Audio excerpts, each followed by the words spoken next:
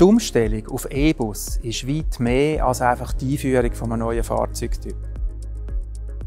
Damit die Busgarage Rüttihof die E-Bus bedienen kann, braucht es eine neue Trafostation. Es braucht eine siebenfache Leistung von dem, was heute vorhanden ist, nämlich 3500 kW anstelle von 500 kW.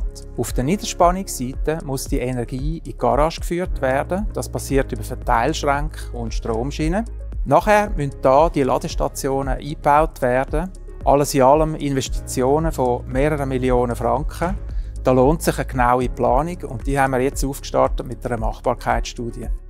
Die Ladung von einem E-Bus dauert mit vier Stunden deutlich länger als die Betankung von einem Dieselbus. Entsprechend müssen auch die Betriebsabläufe angepasst werden.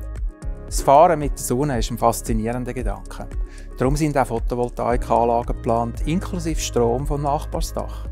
Zimmerberg-Bus verfolgt mit Batteriebus die richtige Technologie. Man stellt ein exponentielles Wachstum in diesem Bereich fest und einen starken Trend Richtung Batteriebus. Die Batteriebus sind auch fünfmal effizienter als Dieselbus. Zudem wird auf der Batterietechnologie stark geforscht. Man rechnet damit, dass in den nächsten zehn Jahren die Batteriekapazität sich verdoppelt und der Preis sich halbiert.